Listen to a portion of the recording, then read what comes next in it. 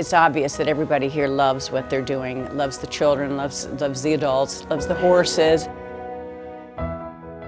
CTR benefits so many. I see young children here with severe disabilities and their parents working with them to make sure that they have an opportunity to grow personally and feel good about themselves.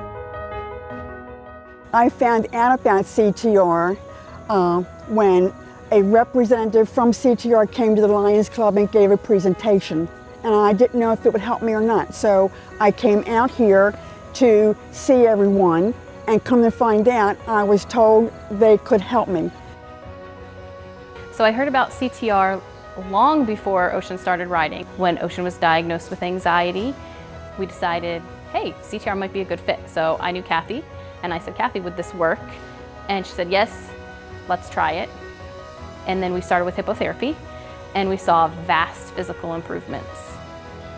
I didn't know if she would benefit. Like I really didn't know. I, I drove past, I saw your sign, and I wondered about it, and I thought, well, she likes dogs, and every kid likes horses.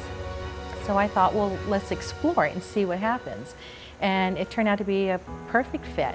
It's just such a positive, warm, accepting place. You know, you just feel like the slightest little thing you do is so appreciated.